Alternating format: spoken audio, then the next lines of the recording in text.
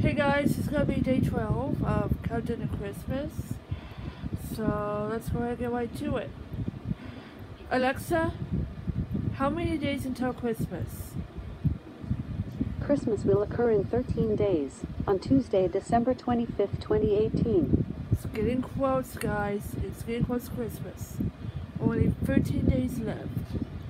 So have ever any of you done a holiday festivities or do Christmas shopping? Just let me know in the comments down below. Because speaking of holiday festivities, I'm in the Nutcracker this week. So yeah, that's probably holiday festivities.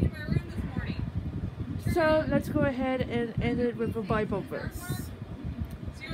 Alexa, tell me the Bible verse. Oh, okay. I can I listen to it Here is a Bible verse from the King James Bible. Genesis 2:21 reads, "And the Lord God caused a deep sleep to fall upon Adam, and he slept, and he took one of his ribs, and closed up the flesh instead thereof."